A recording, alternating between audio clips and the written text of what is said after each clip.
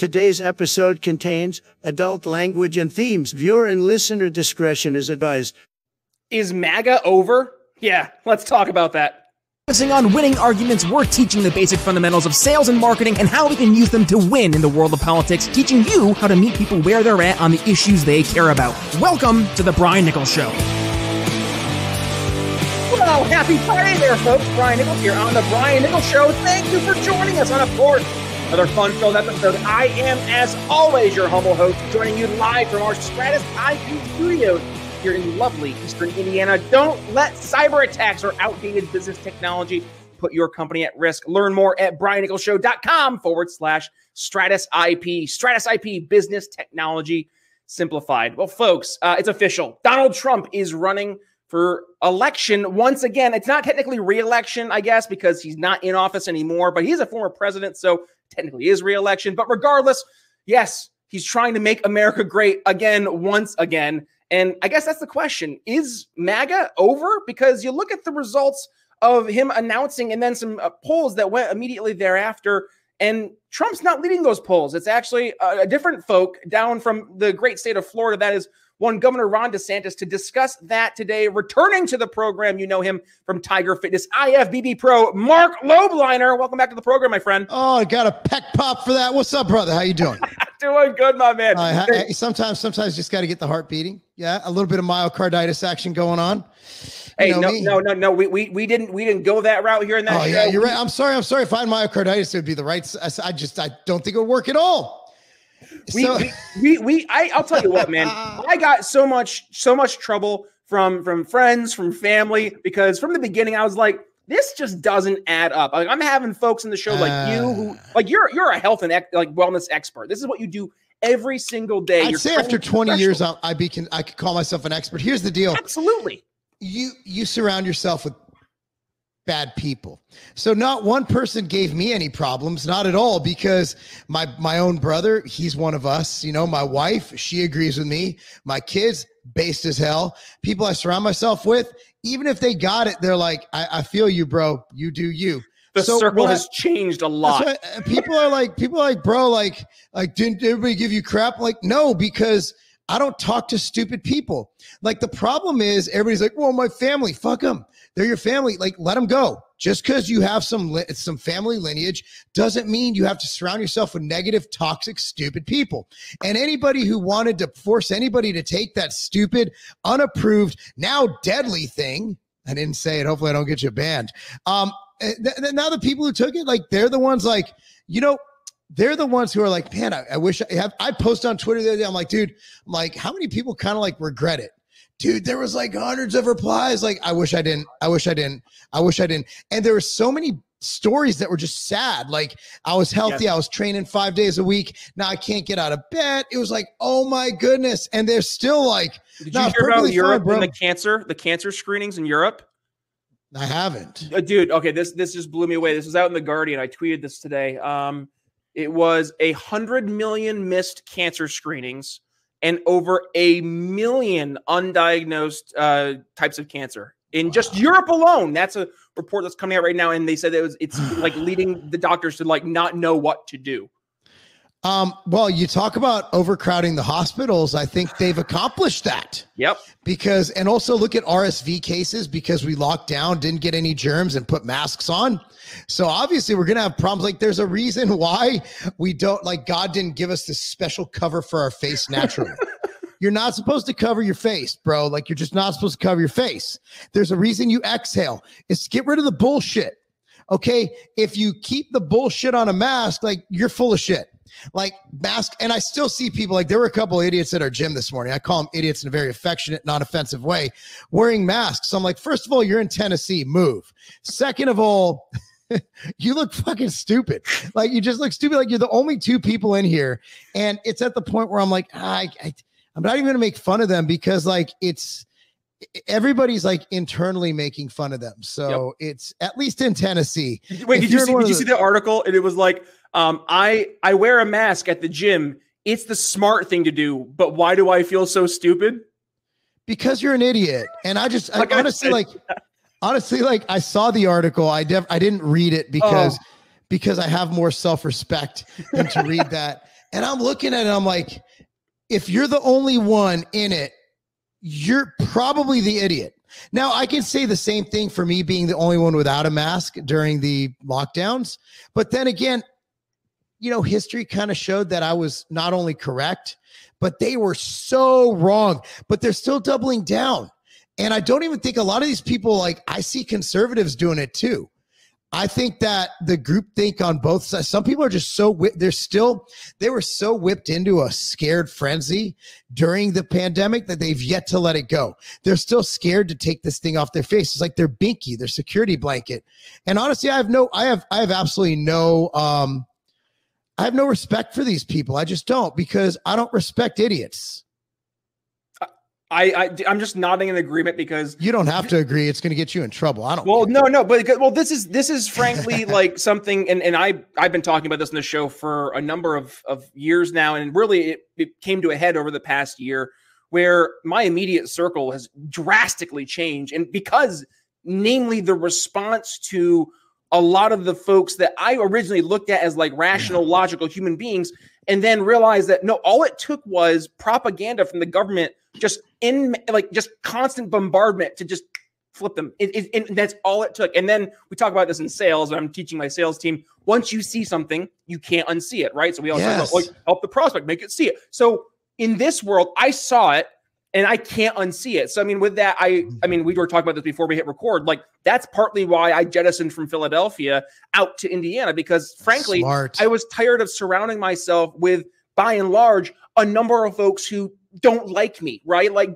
actively hate me, vote uh, not just vote against me, but would vote to use government to actively cause harm on me. And that's the difference, I think, is that like Mhm. I moved because I realized my like my circumstances required change, and and I moved. That's me voting with my feet.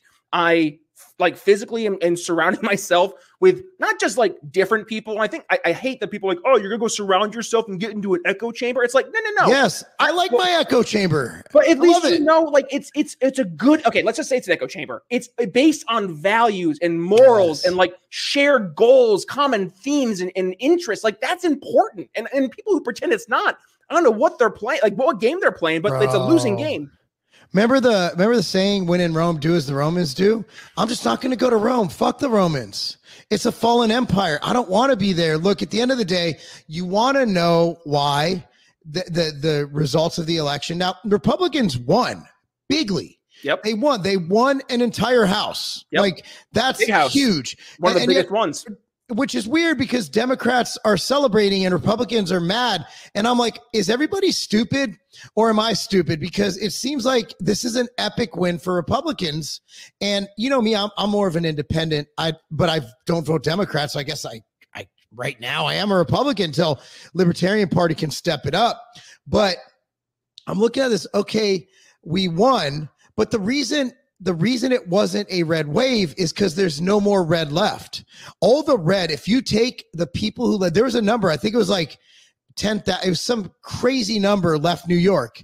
And then Zeldin lost by half the votes Yep. of the people. So I think it was like, let's say 10,000 left and he lost by 5,000 votes. I know that's not accurate, but that's like the ratio. Yep. So if those people would have stayed, those were mostly conservatives. And I say that because they probably live in my neighborhood. We have more New Yorkers, Californians, and Illinoisans than than we do Tennesseans. Like there's no fucking people from Tennessee because everybody left. So Michigan's the same way. Everybody was like, I'm out. Peace. I mean, look at you. Right? Like you're out. Yep. Me, I moved in 2019, but I would have moved. I'd be out from from Illinois. Where were you beforehand? I was in Illinois Okay. A horrible, horrible place, man. I, I'd imagine that people say go to hell, and I'm like, number one, Jews don't believe in hell. Number two, it can't be as bad as Illinois. It's it's it can't. I mean, at least hell's warm.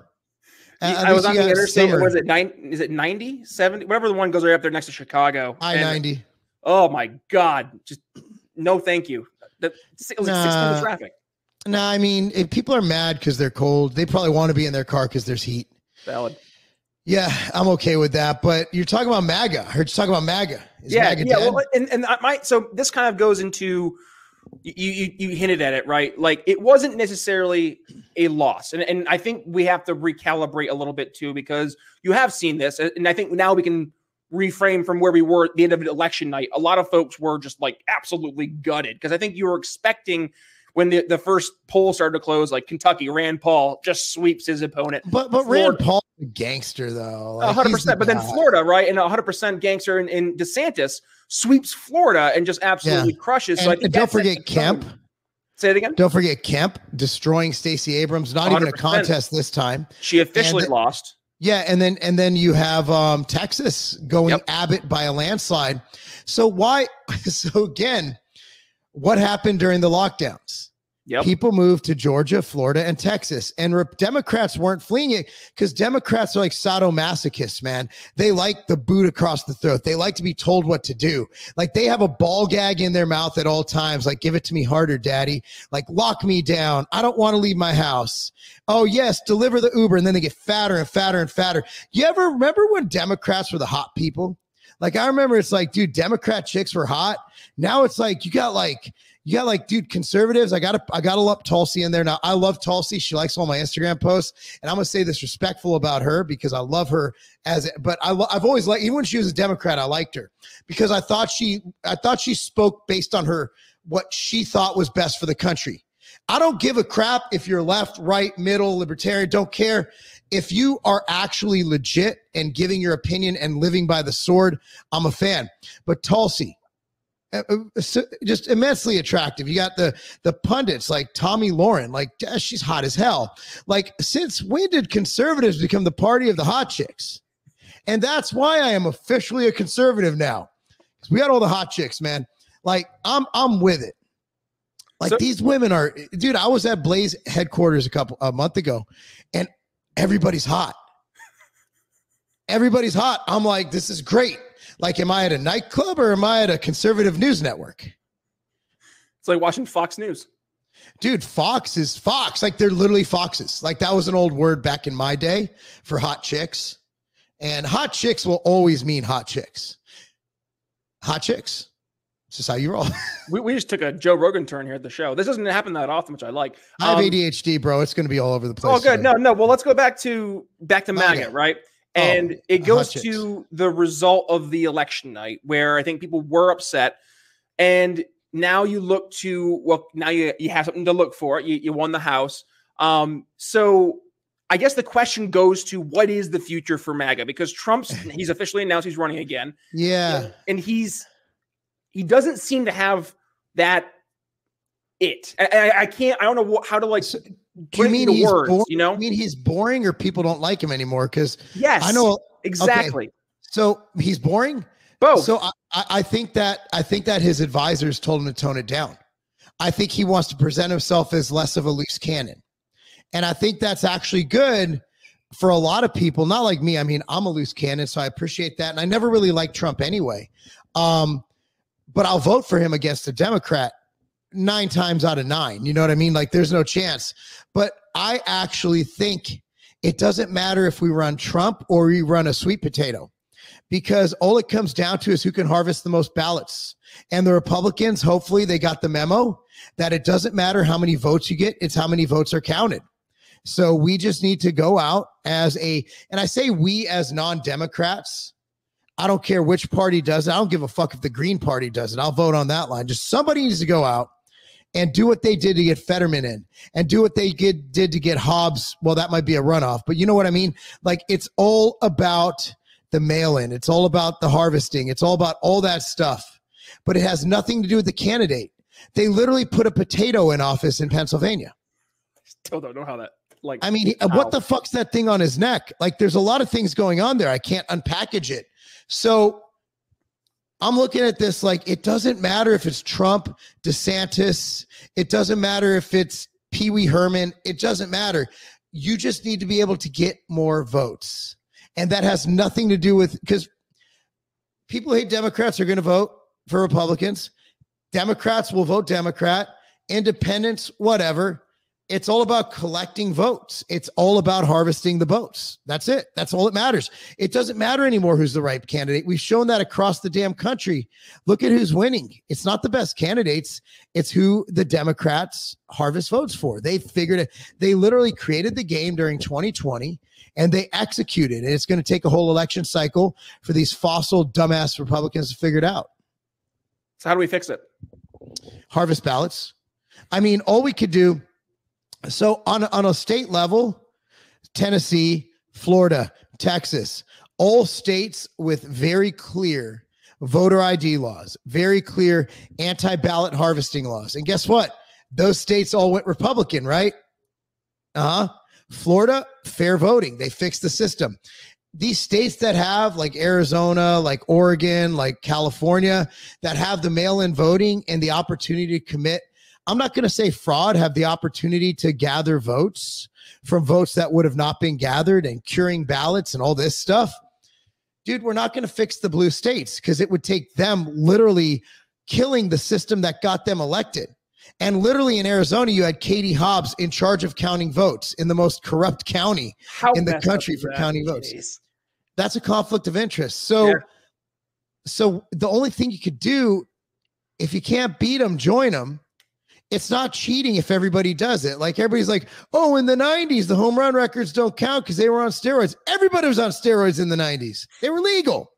So it's the same thing. Like it's legal, it's within the realm of legality. So if the Republicans ever want to win again, they have to play that game, period. They need to put drop boxes at churches, at gun stores, at at um anywhere that there's a large concentration of Republicans we talk about so yesterday I had Maj Toure in the show. Um, and guy. we were talking about great guy, yeah, and talking about building a culture of liberty, right? And I know that there's a, a big movement to reach folks who just haven't been involved in the political process in the past.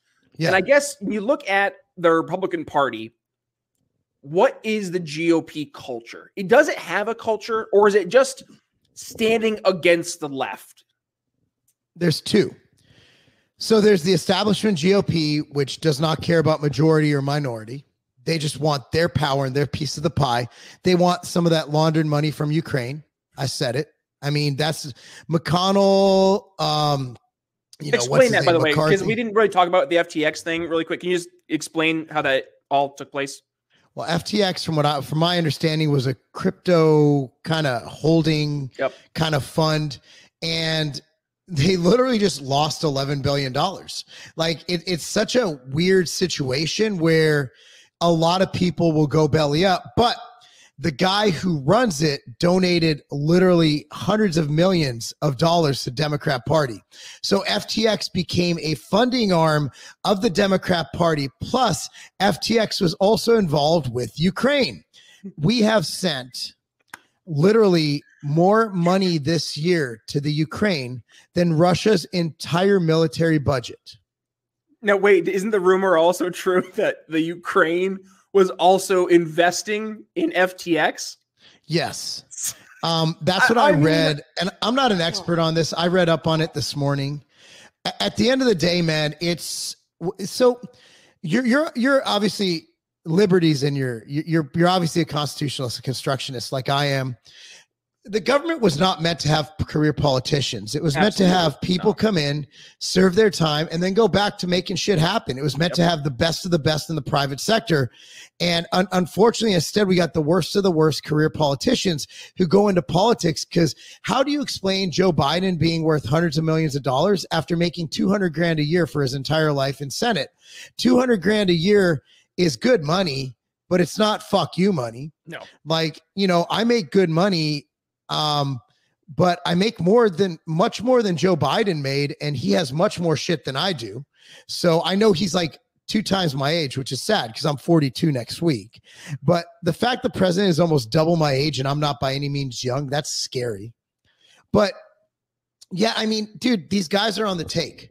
They're all on the take. And you have some fighters. You got Marjorie Taylor Greene, you got Rand Paul, you got Thomas Massie and they're they're the only hope we have. Our candidates like that. Now you got, I believe, that JD Vance guy in Ohio is promising to hear, and unfortunately, or fortunately, a lot of them are America first. Now you asked about which candidate, which which what is the GOP? There's two factions. There's the one I just described, the establishment who just wants their piece of the pie, and then there's America first. Now I don't know where Trump stands on it. Um, I don't care, but it seems like the America first people are the ones throwing up the flag. Marjorie Taylor Greene was screaming all day about getting some accountability for Ukraine. Rand Paul put a bill that was, by the way, squashed by both Republicans on Democrat to audit the money that's gone to the Ukraine. Here's my question. Why is everybody, they're all for hiring 87,000 IRS agents to audit individuals, yet nobody wants to audit elections and nobody wants to audit the Ukraine? How come they're auditing a guy who makes 70 grand a year just scraping by to put his family, um, put food on their table, yet I want to audit $91 billion going to a country I don't give a fuck about. I care about people. I care that people are healthy and safe. But honestly, like, why don't we worry about our fentanyl overdoses over here? Why don't we worry about the dozens of young black children senselessly murdered in Chicago every fucking week? No, instead, we're sending it to some fucking white people in Ukraine. It's racist as fuck. Why don't we care about black and brown people who die in the streets, huh? It's just like the old adage, man. You get a white kid kidnapped back in the 90s, it was on every news channel. Uh, you never saw a hunt for a kid. You said black kids don't get kidnapped? No, better optics. They're helping these, oh, these poor, beautiful fucking OnlyFans girl in the Ukraine. Now they are hot. And I just want to make this offer publicly.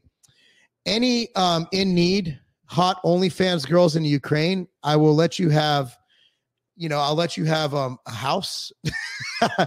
I'll give you amnesty. Come live at my house. I'm just playing. But I mean, these chicks are ridiculously hot, by the way. Ukrainian chicks and Russian chicks, they're hot. And that's why I think that's why I'm conflicted. Like, I think we need to figure out if Russia or Ukraine has hotter chicks. Once we figure that out, we figure out who we're going to back. This feels dangerously close to Robert California at the end of The Office. Going out and teaching the uh, the illiterate uh, was it illiterate Eastern European gymnastic uh, women uh, who, who they are just they are in, in need of such uh, coaching. Uh, Look, so, man, I'm about altruism. That's what I do. That's what I do. Marc, we could go on and on, man, but uh, unfortunately, we're already hard pressed for time. So here's what I want to do. I want first and foremost to give folks a chance to, to continue the conversation with you. You're a great follower over on Twitter. So I see you have your Twitter handle there at Marc Lobliner. But yeah. you also have a lot of stuff you're doing over at Tiger Fitness. I know you also have a new workout program. I think I saw that you just launched as well. A new uh, is it new uh, ebook? No, it's, like that? it's so so. I don't charge for books. I charge for oh, tangible goods. Okay. So it's powerlifting for bodybuilders. It's it's yeah. a bit of an advanced program. I have less advanced programs. I have I've written so many free books. Um, it's I love doing it. It's how I kind of decompress and put my thoughts on paper. I, I like writing things. So that's that. Um, tigerfitness.com. We also, I think now's a good time. We're gonna have a huge Black Friday sale. Nice. Um, coming up, obviously. Black Friday, which is going to be really dope. It's our biggest sale of the year. Obviously, it's everybody's biggest sale of the year. And yeah, tigerfitness.com. We got the outright bar. We got a lot of cool stuff. And what do I have here? And this is a, this is a great. If you have trouble losing weight, there's a great appetite suppressant called No Morbidity. Hmm. So we have that. That's my other brand, Ambrosia. So we got it going on. And if I offended anybody, uh, I'm not apologizing. Marc, that's why we love having you in the show. You always speak your mind. And uh, folks, if you enjoyed today's episode, you enjoyed hearing Marc speak his mind. Well, do me a favor. First of all, please go ahead and give today's episode a share. When you do, please tag yours truly at B Nichols Liberty. Give Marc a tag at Marc Lobliner. And also, we'll make sure I know 90% of you are joining us here on the audio version of the show. Hello. Uh, but if you are joining us there and you're driving, working out, whatever it may be, no worries. Just go to your show notes, click the artwork. It'll bring you over to briannicholsshow.com where you can find today's episode, the entire transcript from today's episode, plus all of the aforementioned uh, show notes, plus the link to Tiger Fitness and their Black Friday specials, which I am definitely taking part in. Then my protein powder and creatine is low. Absolutely. Um, and then beyond that, folks, uh, if you did not get the chance, I know I mentioned the episode earlier. We had Mark, or, or sorry, we had Maj Toure rather on the program yesterday. Uh, oh, so he's, one sure. of our, he's an Ambrosia guy too. He's one of our guys. Yeah. There you go. Yeah, yeah we, we, we, we, uh, we sponsor and send bars and everything to Black Guns Matter. Awesome. Yeah. So that's what we talked about building a culture of liberty. Black Guns Matter. And uh, by the way, I'll make sure I can make it easy for you to find. If uh, you're looking for that video, you're like, where the heck can I find it? Right here below. Um, and it, by the way, we're on YouTube, Rumble, Odysee. So wherever it is you're watching the show, do me a favor, hit that subscribe button and little notification bell. All right, Marc, final thoughts for the uh, audience. What do you got for us? Oh man, just be optimistic. You know, it's it's I, I I think we're in a very good spot, whether you're Republican or Democrat. I don't think anybody can make the argument that it's better to have um, complete control by one party. So I like the fact that at least it's somewhat balanced to control some of the stupid ideas coming forth by either party. But unfortunately, both of them like dumping money into Ukraine. So we're kind of screwed there, guys. My final thoughts, folks. Uh, shows like this, uh, unfortunately, they are mostly a labor of love. So if you enjoy stuff like this every single week, I mean, here at the show, we're doing five episodes a week. Marc, did you know that Monday through Friday? So Damn. if you guys get some value, that's right. Please do us a favor, support the program. There's a couple of ways you can do that. Number one, head to briannicholsshow.com forward slash shop. We have a lot of new merch, including our Magic Money Tree shirt. And that's right, the Magic Money Tree, our magical unicorn and leprechauns. Grab that, plus our What Happened in 1971 shirt. Now that's what I call Tyranny Klaus Schwab shirt and more over at briannicholsshow.com forward slash shop and use code TBNS at checkout for a discount applied to your order. That's one way. Number two, head to briannicholsshow.com forward slash support, make a one time donation, or become a uh, returning and recurring uh, supporter of the show, $5 a month. Whatever you can do, everything goes right back here into the program. Folks, thank you for joining us. We had a great week of guests. And with that being said, it's Brian Nichols signing off here on The Brian Nichols Show for Marc Lobliner. We'll see you next week. Listening to The Brian Nichols Show. Find more episodes at briannicholsshow.com.